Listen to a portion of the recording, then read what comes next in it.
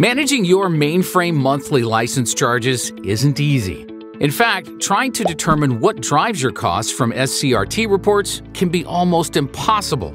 You might be trying your best to figure it out by creating spreadsheets, identifying workloads to move out of your peak, manually capping, and even moving work off the mainframe. Whoops! Oh, your bill just went up, and you don't know why. Frustrated? Yeah, we don't blame you. Unfortunately, figuring out the best cost reduction strategy is very difficult using manual methods. And here's why.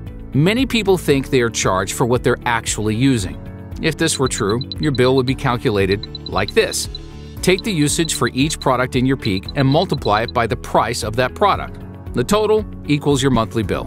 But this is not how your bill is calculated. This begs the question how is MLC actually calculated? It starts with the rolling 4 hour average. Each hour, your usage is identified and averaged with the previous three hours to create a rolling 4 hour average. The peak, or the highest average usage during the month, is identified and used as the basis to calculate your MLC bill. Now, this is where it gets interesting and complicated.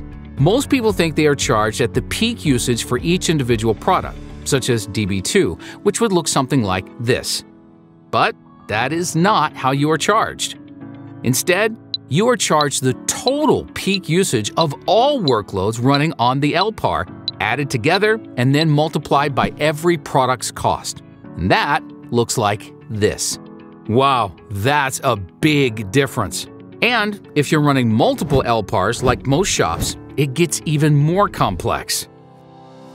Your MLC charges are based on the highest total peak across all LPARs where each product runs, which makes tracking the peak really complicated. So, if you think you're the only one who doesn't fully understand how to reduce MLC costs, you are not alone. MLC pricing models are complex, with new ones frequently being introduced, such as country multiplex and mobile workload pricing. It's more complicated than many people realize, which is why spreadsheet analysis is just not effective. Trying to make cost-saving changes through trial and error is difficult, especially when you need to wait a month to verify whether your changes made a difference. Why is this so complicated? And why should companies continue to struggle with spreadsheets to determine the drivers of their monthly costs? BMC saw this as an important issue and has addressed it. Don't continue wasting valuable time and resources.